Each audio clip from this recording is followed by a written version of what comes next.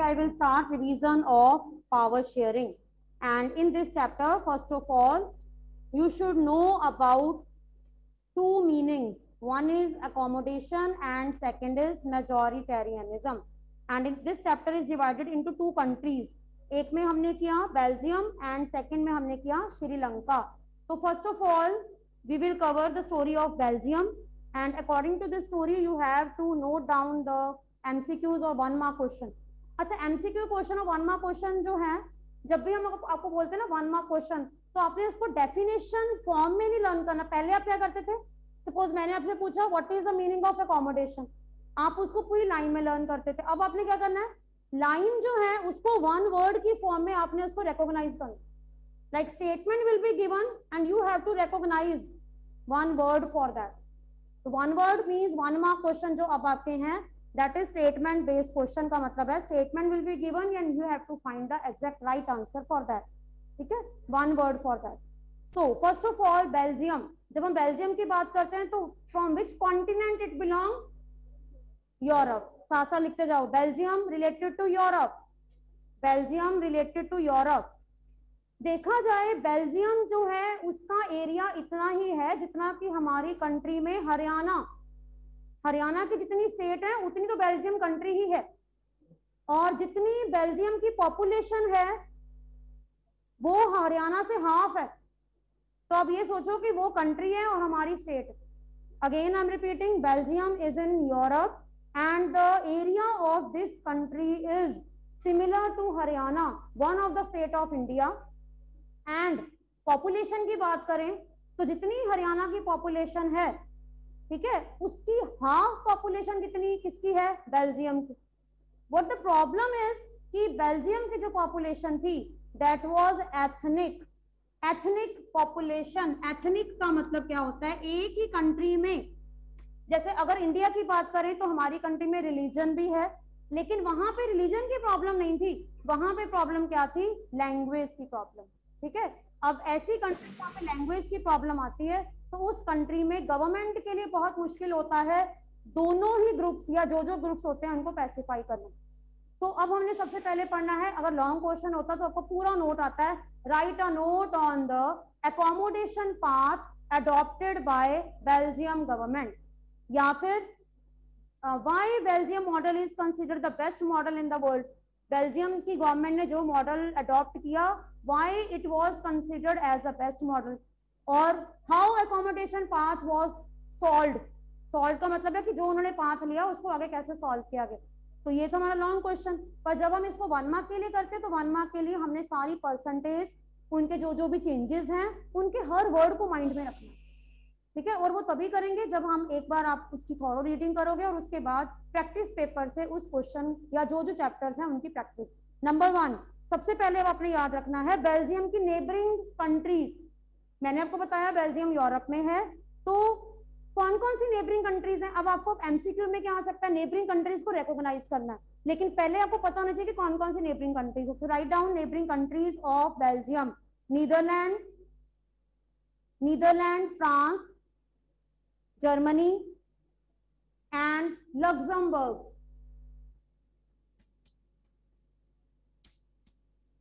ये four countries याद रखो। अब सोचो कि एमसीक्यूज में कोई भी आ सकता है। Which one of following is not the neighbouring country तो पहले माइंड में रखो कि कौन कौन सी कंट्रीज़ हैं। Netherland France Germany and Luxembourg ये ऐसी कंट्रीज़ हैं जो बेल्जियम की नेबरिंग कंट्रीज़ हैं, जैसे इंडिया की नेबरिंग कंट्रीज़ हैं। भूटान, पाकिस्तान, चाइना, ठीक है? अब आ जाओ नेक्स्ट कॉम्प्लेक्स एथनिक कॉम्पोजिशन क्यों थी कॉम्प्लेक्स क्यों आपस में जो है वो लड़ाई झगड़ा बहुत होता था? वन बाय वन नोट करो, सबसे पहले आपने नोट करना है परसेंटेज 59 परसेंट पहले तो डिवाइड करो 100 को।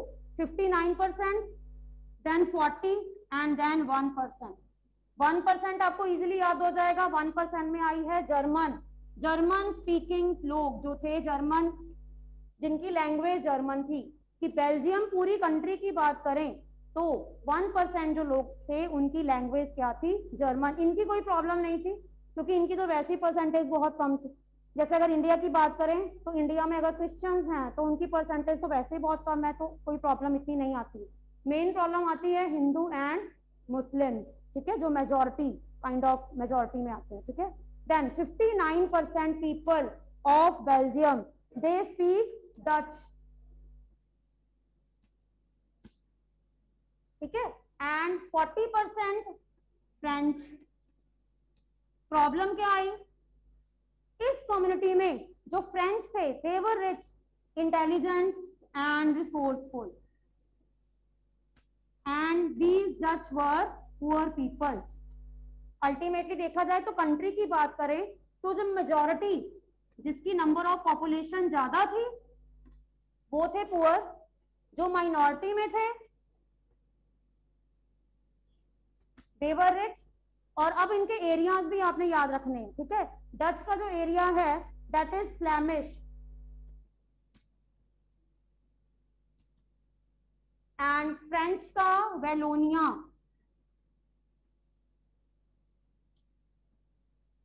फ्लैमिश रीजन तो सपोज़ अब इनमें से कोई भी वन मार्क के एमसीक्यू इसके अकॉर्डिंग आ सकता है।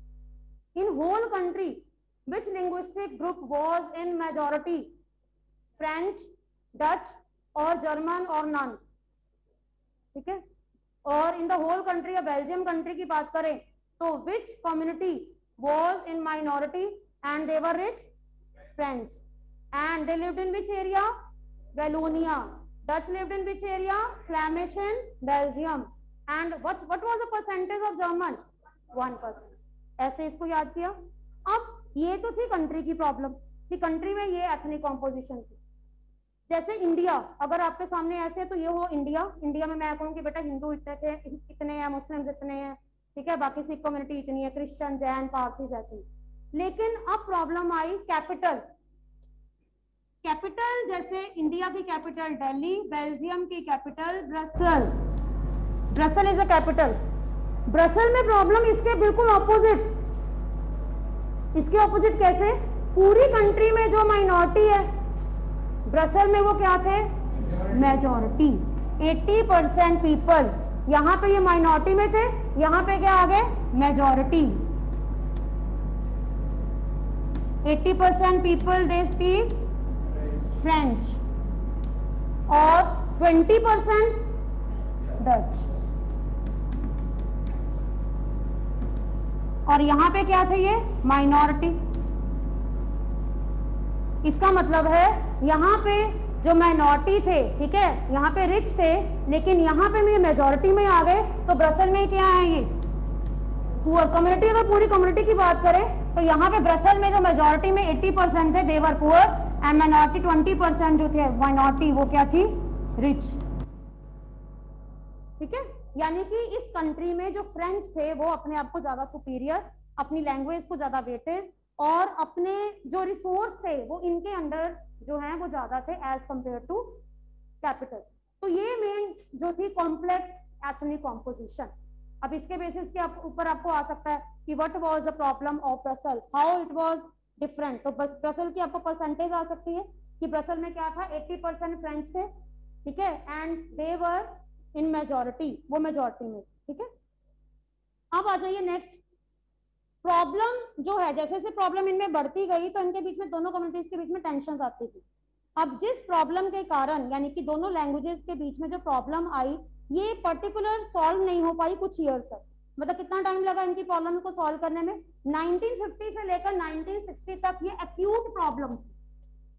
यानी कि 1950 से लेकर 1960 एक्यूट प्रॉब्लम का मतलब होता है कॉन्टिन्यू 10 इयर्स यानी कि इस पर्टिकुलर टाइम पीरियड के बीच में, दोनों कम्युनिटीज के बीच में जो है, वो डिफरेंसेस बढ़ते गए और ये डिफरेंसेस आगे खत्म नहीं हुए, ठीक है? और आगे से आगे जो है, वो अटैक हुए फ्रेंच डच पे अटैक करते थे डच फ्रेंच पे अटैक करते थे इक्वालिटी नहीं थी। जो उस टाइम पीरियड में गवर्नमेंट थी, वो गवर्नमेंट कभी डच को सपोर्ट करती थी, कभी फ्रेंच को सपोर्ट करती थी। तो इस तरह की प्रॉब्लम के कारण हम ये कह सकते हैं कि बेल्जियम कंट्री में पीस एस्टेब्लिश नहीं हो पाई। इसके बाद 1960 से 1970 वो टाइम ऐसा टाइम था, वो टेन ईयर्स ऐसे थे जिन टेन ईयर्स में बहुत से जो है वो चेंजेस किए गए, लेकिन उन चेंजेस को दोनों ही कम्युनिटीज मानने के लिए तैयार नहीं तो अल्टीमेटली चेंजेस जो हैं, जिन चेंजेस को ये दोनों कम्युनिटीज मानने के लिए रेडी हुई, वो स्टार्ट हुए 1970 से। यानी कि कॉन्स्टिट्यूशन में जो चेंजेस किए गए, अब ये ये जो है उसको याद रखना कि 1970 से लेकर 1993 तक कॉन्स्टिट्यूशन में चेंजेस किए गए। उन चेंजेस को कभी डच ने माना, कभी फ्रेंच ने माना, कभी डच ने उसको अपोज किया, कभी फ्रेंच ने अपोज किया। और कॉन्स्टिट्यूशन को फोर टाइम्स अमेंड किया गया। Four times this constitution was amended according to their expectations ठीक है? नए नए चेंजेस कॉन्स्टिट्यूशन जो है वो बनना शुरू हुआ। उसको चेंज किया गया। पहली बार कॉन्स्टिट्यूशन बना, फिर से उसको चेंज किया सेकेंड टाइम फिर बना, और four times constitutional changes were introduce and finally जाकर 1993 में बेल्जियम की जो गवर्नमेंट है, दोनों यानी कि डच और फ्रेंच कम्युनिटी जो थी, वो आपस में इक्वालिटी इक्वालिटी का मतलब होता है कि ऐसे पॉइंट जिसके ऊपर कम्युनिटीज के बीच में लड़ाई झगड़ा नहीं होता। And they were agreed upon agreed upon का मतलब वो क्या होता है? कि जो भी नए लॉज बने, उनको दोनों ने ही एक्सेप्ट किया। कब से स्टार्ट हुआ ये? 1960 से स्टार्ट होकर एंड कहाँ पे हुआ? 1993 अब ये लेटेस्ट चेंजेस क्या हुए? कौन कौन से चेंजेस इंट्रोड्यूस किए गए? यानी कि जब ये कॉन्स्टिट्यूशन को अमेंड किया गया तो फाइनली 1993 में जो बेल्जियम मॉडल सामने आया, इस बेल्जियम मॉडल में क्या क्या चेंजेस थे? इन चेंजेस को नोट करो। नंबर वन सबसे इंपॉर्टेंट चेंज पार्लियामेंट की बात करें तो पूरी कंट्री की जो पार्लियामेंट जैसे दिल्ली की पार्लियामेंट सॉरी हमारी कंट्री की पार्लियामेंट है, लोकसभा एंड राज्यसभा। ऐसे ही बेल्जियम की जो पार्लियामेंट है this was decided that equal representation will be given to both जैसे इंडिया में कितनी है 543 सीट्स हैं, ठीक है, लेकिन कम्युनिटी वाइज अलग अलग है।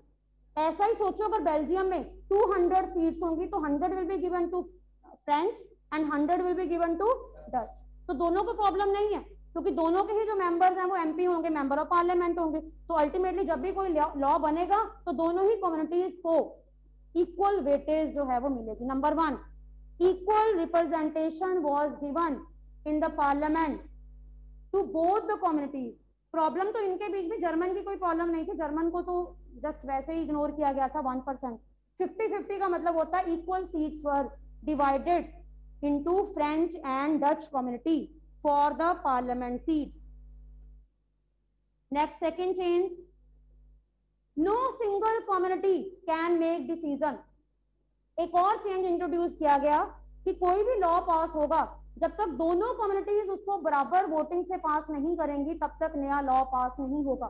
इक्वल हमारी कंट्री में तो टू थर्ड मेजोरिटी होती है, लेकिन वहाँ पे रखा गया इक्वल इक्वल का मतलब क्या होता है? कि for example two hundred seats हैं।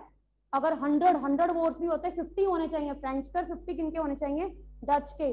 तो ही कोई नया लॉ जो है वो पास होगा। No single community can make any decision कोई एक कम्युनिटी जो है वो डिसीज़न नहीं बनाएगी। दोनों कम्युनिटीज मिलकर डिसीज़न बनाएँगे। Third Belgium was declared as federal government Belgium को फेडरल कंट्री डिक्लेयर कर दिया गया। फेडरल का मतलब क्या होता है?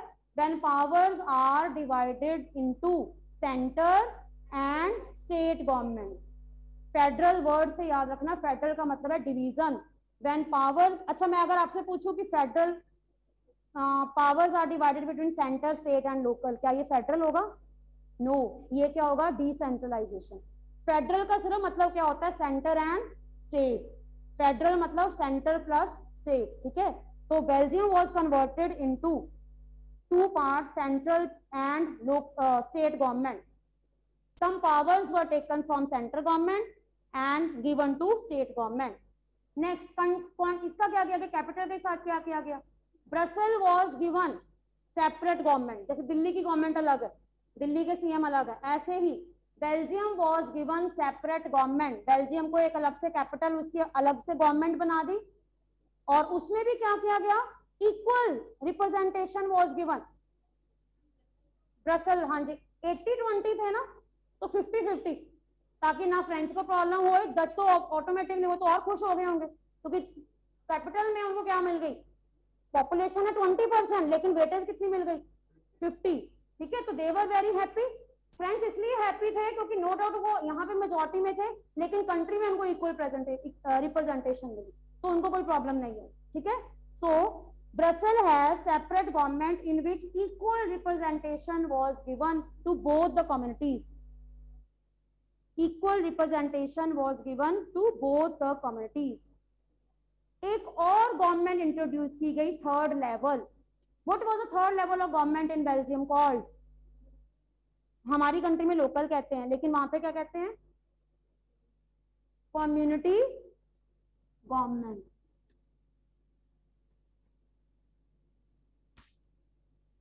community government, third level third level of government was introduced in belgium. जिसको कहा गया? कम्युनिटी गवर्नमेंट कम्युनिटी गवर्नमेंट जो है प्रॉपर इट मींस ये एक ऐसी गवर्नमेंट थी जिस गवर्नमेंट में सपोज़ ये कंट्री है। इसको बहुत ध्यान से देखना बच्चे। सपोज़ बेल्जियम पूरी कंट्री है और इस कंट्री में फ्रेंच और डच जहाँ मर्ज़ी रहे सपोज़ इस एरिया में ज़्यादा फ्रेंच रह रहे हैं, और यहाँ पे डच रह रहे हैं, यहाँ पे भी फ्रेंच रह रहे हैं, यहाँ पे डच रह रहे हैं, यहाँ पे फ्रेंच रह रहे हैं। मीन्स पूरी कंट्री में पॉपुलेशन अलग अलग जगह पे है। लेकिन जब थर्ड लेवल यानी कि इस लेवल के इलेक्शन होंगे French will vote for French government and Dutch will vote for Dutch government ये अलग से एक third level of government introduce किया गया। और फ्रेंच लैंग्वेज से रिलेटेड कोई भी नया लॉ या एजुकेशन से रिलेटेड कोई भी, कस्टम से रिलेटेड कोई भी प्रॉब्लम आएगी तो उसको सेंट्रल गवर्नमेंट डील नहीं करेगी। कौन सी गवर्नमेंट डील करेगी? Community government. यानी कि इनको ये राइट्स दिए गए कि अपनी अपनी लैंग्वेज के बेसिस के ऊपर एक थर्ड कम्युनिटी गवर्नमेंट को इलेक्ट कर सकते हैं। और उसमें सिर्फ़ क्या होगा? French will vote for their own government and Dutch will vote for their own government और ऐसे में वो अपनी लैंग्वेज से रिलेटेड कोई भी इशू है, या फैमिली या कोई भी प्रॉब्लम है या एजुकेशन या स्कूल कॉलेजेस किसी भी तरह से अपनी लैंग्वेज को प्रमोट कर सकते हैं। तो इस तरह से इतनी ज़्यादा ऑटोनॉमी दी गई ताकि ये लोगों को लैंग्वेज के बेसिस के ऊपर कोई भी प्रॉब्लम ना आए। That was called third level of government that is community government तो what is community government suppose इसकी डेफिनेशन आती तो आपको रिकॉग्नाइज करना है। Community government right down community government third kind of government elected by people belonging to one language. Third kind of government elected by people belonging to one language in Belgium was called community government. No matter where they live, जहाँ पे रहते हैं अलग अलग areas में रह रहे हैं लेकिन जब वोटिंग होगी ना जब कम्युनिटी गवर्नमेंट की वोटिंग होगी वो अपने एरिया में अपने ही लैंग्वेज के ग्रुप को किसी भी तरह से वोटिंग कर सकते हैं। यानी कि उन्होंने वोटिंग अपनी लैंग्वेज के अकॉर्डिंग कर सकते कम्युनिटी गवर्नमेंट और अल्टीमेटली इस मेन कम्युनिटी गवर्नमेंट को बनाने का मोटिव क्या था गवर्नमेंट का? कि सेंट्रल गवर्नमेंट लैंग्वेज से रिलेटेड किसी भी इशू में इंटरफेयर नहीं करेगी। और जो भी प्रॉब्लम्स हैं, वो लोकल लोकल पीपल का मतलब होता है लैंग्वेज से रिलेटेड जो लोग हैं, वो अपने आप सॉल्व करेंगे। सेंट्रल गवर्नमेंट उसमें कोई इंटरफेयर नहीं करेगी लैंग्वेज से रिलेटेड इश्यूज़ हैं ठीक है? देन नेक्स्ट और क्या चेंजेस किए गए? कम्युनिटी गवर्नमेंट और क्या करेगी? कम्युनिटी गवर्नमेंट को क्या क्या राइट्स दिए गए? Number one they were given power to solve cultural educational and language related issues उनको पूरी पावर दी गई कि वो कंट्री में कल्चर से रिलेटेड कोई भी प्रॉब्लम आती है लैंग्वेज से रिलेटेड कोई भी प्रॉब्लम आती है एजुकेशन से रिलेटेड कोई भी प्रॉब्लम आती है तो they can tackle these problems on their own level central government will not interfere at all so this system really worked very well, and this was called a best model. इसको कहा गया Belgian model और ये जो path path का मतलब होता है मिड पाथ जो बीच का रास्ता इन्होंने अडॉप्ट किया प्रॉब्लम्स को सॉल्व करने के लिए, इस पाथ को क्या कहा गया? एकोमोडेशन पाथ एकोमोडेशन वर्ड बना है एकोमोडेट करना। एकोमोडेट करना मतलब प्रॉब्लम्स को अपने लेवल पे सॉल्व कर लेना किसी और कंट्री की इंटरफेरेंस नहीं हुई। प्रॉब्लम्स को इस तरह से एकोमोडेट किया गया और इसीलिए बेल्जियम के इस पाथ को कहा गया एकोमोडेशन पाथ एकोमोडेशन पाथ हाँ जी। So that was all about this uh, part that is next आ जाइए Sri Lanka. Sri Lanka second stories of Sri Lanka. This is just opposite of Belgium ये सीधा Belgium जो है, उसके opposite है। Problem क्या थी? Sri Lanka like India was also under the European control for many years and it became independent in which year